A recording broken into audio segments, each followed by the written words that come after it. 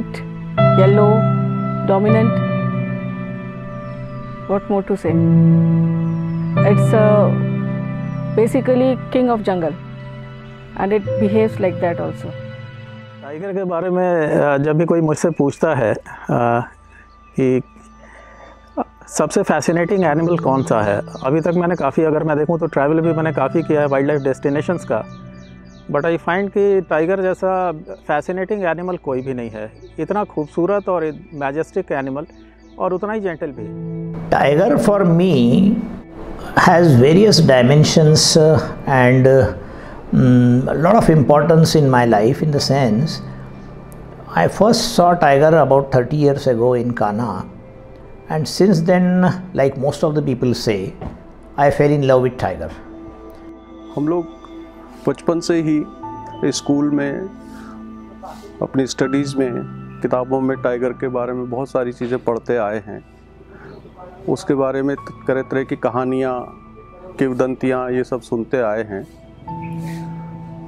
लेकिन जब एक फॉरेस्ट ऑफिसर के रूप में हम लोगों ने काम शुरू किया तो टाइगर को जंगलों में कई रूप में देखा।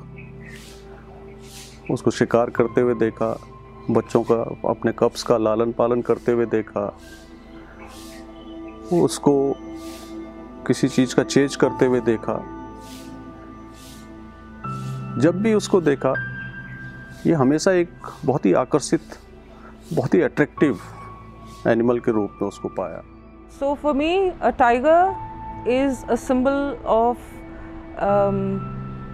a majestic, elusive, powerful, um, muscular animal, uh, the handsomest or the most beautiful creature that uh, one can relate to, and it has many, many inspirations to give you.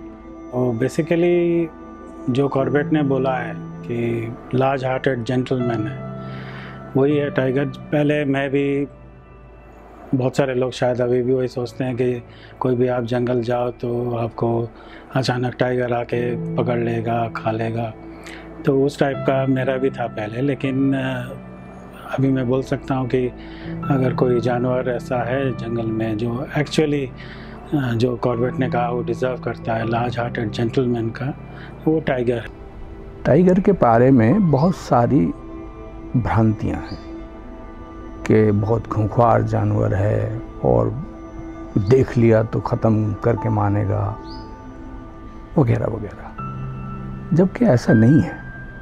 Tiger मेरा अपना अनुभव कहता है, उससे सुशील जानवर wild life में और कोई नहीं है। वो इतना सीधा जानवर है कि जितना हम जानते नहीं। आज भी पन्ना यहीं पर बन बिहार में जब भी मैं हुस्के एनक्लोजर के पास जाता हूँ तो एक इसके साथ जो पुरानी ये यादें हैं, वो बिल्कुल ताज़ा हो जाती हैं। ये बचपन में सात आठ किलो का था और आज अप्रोक्स टू हंड्रेड का है। When somebody says the name of tiger takes the name of the tiger or whenever I see a tiger my feeling about the tiger is first gentle charming caring, and whatnot. Because whenever a tiger is in front of you, it really passes the electricity into everybody.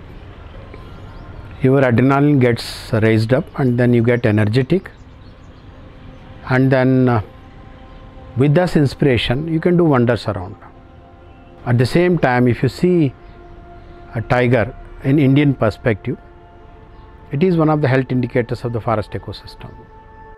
And i don't think there is anyone in this world who has seen tiger and has not been wanting to see it again. It is the majestic uh, mm, look of a tiger the electrifying look of a tiger that um, attracts you every time and you whenever you come out of a tiger reserve you feel like going back as early as you can so tiger for me is not just uh, any other animal it is also beyond uh, the national animal status that it has because tiger as we all know not only sits at the top of the food chain it is also conserving our own biodiversity which is under threat अगर हम big cats की भी बात करें सबसे खूबसूरत animal ecological value अगर हम देखें टाइगर की अनपैरल्ड हम यहाँ पे भी अगर कंजर्वेशन की बात करते हैं तो टाइगर जो है एक अम्ब्रेला स्पीशीज़ है। और टाइगर का सर्वाइवल ये इंश्योर करता है कि बाकी जो फ़ूड चेन में या पिरामिड में जो डाउन द लाइन जो सारी स्पीशीज़ हैं, उनका भी सर्वाइवल इंश्योर करता है। कई बार बच्चों के मन में ये भी देखा है कि टाइगर को नॉट सिर्फ़ बच्चों के, बल्कि जनमानस में भी एक मैजेस्टिक एनिमल के अलावा कई बार उसको एक खतरनाक जानवर या डरावना टाइप का भी रूप कई पिक्चरों में या उसमें किताबों में भी देखने को मिलता है। लेकिन वो तभी तक है जब तक हम उसको सही से नहीं समझ पाते। जब हम उसको सही से समझ लेते हैं तो तब हम पाते हैं कि यह एक बहुत ही महत्वपूर्ण जानवर है, खास करके जो हमारा पर्यावरण है, जो हमारा इकोसिस्टम है, उसको मेंटेन करने के लिए, उसको बना के रखने के लिए इसकी बहुत बड़ी भूमिका है। Another perception that generally children specially and then common people who are interested in to nature the first and foremost available literature in the modern times is from Kipling.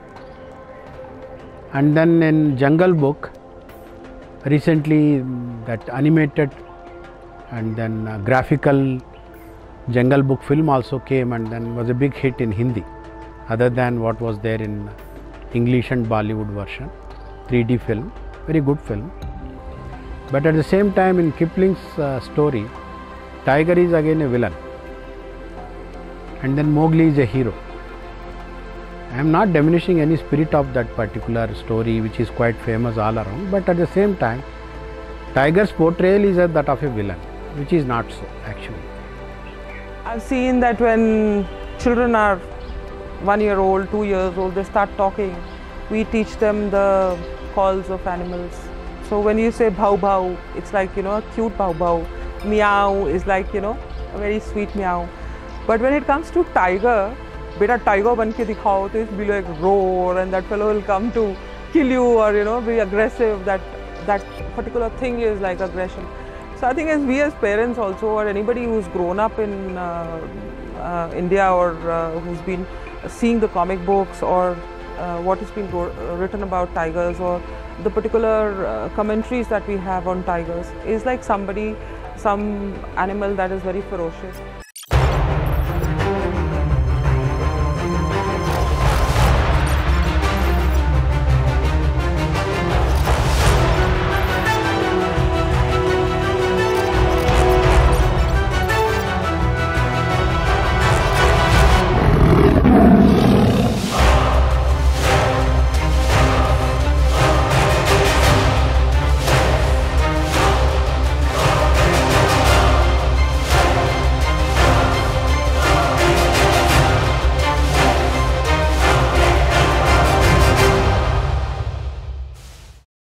When the, mm, the, Project Tiger was launched, there were only nine tiger reserves. Over a period of time, over the last decades or two, the number of tiger reserves have gone up. The interest of people in tiger has gone up. But that big cat is such a mesmerizing uh, animal, I tell you, that from a kid to a very mm, old person who has seen or may not have seen a tiger, but when he sees it in the wild, he goes mad. But beyond that, many of my forest officer friends and wildlifers say, "What do you, what, what can you do for tiger?" So I always tell them that I am there for a tiger. Anything I can go and I can do whatever is in my uh, capabilities, in my capacity. So I am for tiger. So the point is that uh, having said that, conservation of tiger and when we are celebrating the International Tiger Day, it is not just um, talking about tiger and uh, mm, the so called ferocious nature of tiger, but we need to understand the animal from its all angles. It has been a heritage animal just like uh, mm, elephant, but it has been a much misunderstood animal. Tiger has never been attacking human beings, and uh, if you know, Jim Corbett, none other than Jim Corbett, had first said, Tiger is a gentleman. So he wanted to say that tiger is one animal which doesn't really mm, attack or is not very aggressive as far as human beings are concerned. When Hitesh asked me about how you are going to explain a tiger, so they are gentle. Yes, certainly they are very very gentle. We had a very one famous tiger by name Panna 112, again a male tiger, sorry 212, male tiger. So me and two other persons were moving on an elephant with an untrained uh, Mahavat onto the elephant Ganesh and the tiger was sitting on a slanty, slopey, big rock and slope is towards us, the tiger is uh, sitting on other edge of the rock portion. So, I asked my Mahavat to stop the elephant 15 feet away from the tiger, but somehow the Mahavat could not manage to stop the elephant and stop elephant was moving continuously almost went and touched the tire, rock rocky surface. The situation is tiger is on the elevated portion we are down below. Had the tiger thought otherwise uh, the situation could have been totally different but the tiger thought in a right way as i have explained him about his gentle uh, nature he jumped on the other side and moved away the other person simply matlab murmured telling that tiger seems to be more gentle than us than us yes certainly tigers are more gentle than a human being एक अपना अनुभव बताता हूँ जब मैं one विहार में posting थी मेरी तो हमारा एक बुज़ुर्ग टाइगर था। अगर वो इंसान होता तो करीब पिचासी साल का। वो 19-20 साल का टाइगर था और बीमार था। हमारे जो डॉक्टर थे वाइल्ड लाइफ डॉक्टर वो शर्मा जी डॉक्टर अनिल शर्मा थे। अब वो नहीं हैं इस दुनिया में। वो इसका इलाज कर रहे थे। तो एक दिन मैंने उनसे पूछा कि शर्मा जी रामू का क्या हाल है? तो उन्होंने बताया कि सर, वो एक आध हफ़्ते का मेहमान है, उसको लकवा मार गया है और बेड शोर हो गए हैं पड़े रहने से। उसको स्क्वीज केज में रखा हुआ था। स्क्वीज केज होता है जिसकी एक दीवार मूव करती है और जानवर को हम इस स्थिति में ला देते हैं कि ज़्यादा वो कूद फान या उछल न कर सके और डॉक्टर उसका इलाज कर लेता है। तो वो हम गए और डॉक्टर साहब ने स्क्वीज केज को स्क्वीज करा के उसका जख्म वगैरह साफ़ करना शुरू किया। वो बहुत चिल्ला रहा था। पता नहीं कैसे मुझे एक वाक़ याद आ गया पुराना कि मेरे पास, बल्कि पुराना क्या उन्हीं दिनों का कि मेरे पास एक लेब्राडोर था। तो वो मेरे पास आके बैठ जाता था और मैं उसके सिर पे ऐसे हाथ करने लगता था। तो उसको अच्छा लगने लगा। और वो जब मैं बंद करता था तो मुझे वो फिर इशारा कर, हाथ लगा पैर लगाता था, फिर से करिए, फिर से करिए। और खुश हो, एकदम गर्दन ऐसे ढीली करके बैठ जाता था। तो मुझे उसकी आँखों में जो दिखता था, वो टाइगर की, रामू की आँखों में मुझे दिखा। और मैंने हाथ डाल के सीधे उसके सिर पे ऐसे करना शुरू कर दिया। और टू एवरीबडी सरप्राइज़ वो रिलैक्स हो गया और उसने अपना गर्दन फर्श पे टिका लिया और आराम से डॉक्टर साफ़ सफ़ाई करता रहा, बिल्कुल नहीं चिल्लाया। और डॉक्टर ने जब इलाज पूरा कर लिया अपनी मरहम पट्टी तो डॉक्टर बोलते हैं कि, सर, आज आपने क्या कर दिया? तो इस तरह ये आखिर ये भी बिल्ली तो है। आपके घर में आप बिल्लियाँ पालते हैं तो बिल्ली आपकी पेट हो जाती है। तो ऐसे ये हैं, सिर्फ़ ये है कि ये इंसानों से दूर रहते हैं और इंसान इनके लिए अजीबा होता है और उस अजूबे को ये देखना चाहते हैं क्या है। और कई बार प्यार से भी हाथ लगाएँगे तो आपका तो कबाड़ा हो जाता है और उसमें टाइगर बदनाम हो जाता है।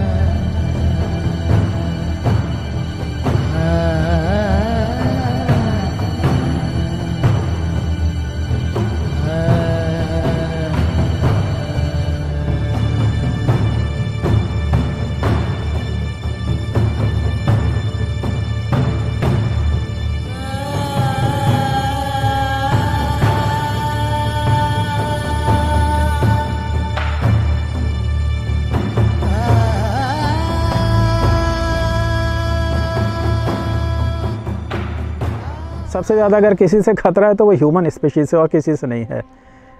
टाइगर भी बहुत ही फ्रेंडली एनिमल है।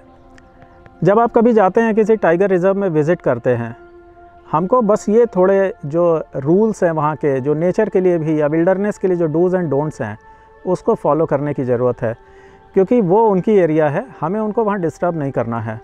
आप व्हीकल में बैठे हैं, आप कूल एंड काम रहें एनिमल को कहीं से प्रोवोक नहीं करें, आप पूरी तरह सेफ़ हैं। वहाँ का पूरा स्टाफ आप देखें, किसी भी टाइगर रिज़र्व के मैनेजमेंट का, किसी भी नेशनल पार्क का, वो लोग ऑन फुट जाते हैं ड्यूटी करते हैं। रेयरली ऐसा कभी होता होगा कि कभी टाइगर ने किसी को अटैक किया हो। जहाँ तक हम ये भी बात करते हैं कि टाइगर या सारे animals they kill only for food खाने के लिए वो शिकार करते हैं। शौक के लिए शिकार नहीं करते, शौक के लिए शिकार करना आदमी का काम है। वो केवल खाने के लिए शिकार करते हैं और टाइगर का नेचुरल प्रे आदमी नहीं है ह्यूमन नहीं है नेचुरल प्रे तो इसलिए नॉर्मली टाइगर कभी भी खाने के लिए ह्यूमन पे अटैक या ह्यूमन किलिंग नहीं करता है। कभी भी मोस्ट ऑफ़ द केसेस आप जो देखेंगे जो ह्यूमन किलिंग होती है, उसका रीज़न हमको देखने की ज़रूरत है। कई बार क्या होता है कि अभी भी आप देखेंगे कि मोस्टली महुआ सीज़न में महुआ बीनने के लिए गाँव के लोग गए हैं, आदमी, औरत, बच्चे गए हैं। जब आप झुक के उसको महुआ को बीनते हैं तो टाइगर ऐसा परसीव कर सकता है कि वो कोई चौपाया जानवर है, वो आदमी नहीं है। आदमी को हम दो पैर पे खड़े पॉस्चर से पहचानते हैं। आप झुके काम कर रहे हैं, झुके हुए हैं तो टाइगर में get confuse and may attack that time हमको थोड़ा ध्यान रखना है, अगर कोई टाइगर का हैबिटेट है, टाइगर की टेरिटरी है तो हमको खुद भी थोड़ा सा अलर्ट रहने की ज़रूरत है। हम टाइगर को अगर बचाते हैं, बाकी की नीचे की जो पूरी की पूरी स्पीशीज़ है, पूरा इकोसिस्टम वो सेव हम करते हैं इकोलॉजिकल सिक्योरिटी हम उस एरिया की इंश्योर करते हैं और हम अपना सर्वाइवल इंश्योर करते हैं। तो टाइगर को जब हम बचाते हैं, हम अपने सर्वाइवल को इंश्योर कर रहे हैं। यहाँ पर जो वन बिहार में जो पन्ना बाग है, ये जो कि एनक्लोजर में बाहर रहना चाहिए पर्यटकों के लिए डिस्प्ले में है, इसका मेरे साथ बचपन से ही अटैचमेंट है। बचपन में पन्ना में ये अपनी माँ से अलग हुआ तो उस टाइम ये ऑलमोस्ट मरनासन अवस्था में था। तो वहाँ पे मैंने तीन चार दिन रह के इसका मैंने इलाज किया और ये बिल्कुल स्वस्थ हुआ। आज भी पन्ना यहीं पर वन बिहार में जब भी मैं उसके एनक्लोजर के पास जाता हूँ तो एक इसके साथ जो पुरानी ये यादें हैं, वो बिल्कुल ताज़ा हो जाती हैं। ये बचपन में सात आठ किलो का था और आज अप्रोक्स टू हंड्रेड का है। वन विहार में डिस्प्ले में हमारे पास अभी फोर टाइगर्स हैं गंगा, गौरी, रिद्धि एंड पन्ना। इसके अलावा हमारा जो रेस्क्यू सेंटर या ऑफ़ डिस्प्ले सेंटर है, उसमें मुन्ना है। We have Saran we have Bandhan Bandhani Sattu मचमची बांधव बंधु मटक्कली एंड कमलेश तो टोटल वी हैव 14 टाइगर्स और ये अलग अलग रीज़न के लिए यहाँ वन विहार लाए गए हैं। And like they are also trying to adjust and we are also trying our best कि उनको कैसे एक नॉर्मल माहौल हम दे सकें। टूरिस्ट uh, जो आते हैं वो यदि थोड़ा सा भी uh, आके ऑब्ज़र्व करें एनिमल को सो आई एल एश्योर कि वो बार बार आके देखना चाहेंगे and they feel that they are part of their family और उनको उनसे उतना ही प्यार हो जाएगा जितना वो एक फैमिली मेंबर के साथ अटैचमेंट फील करते हैं।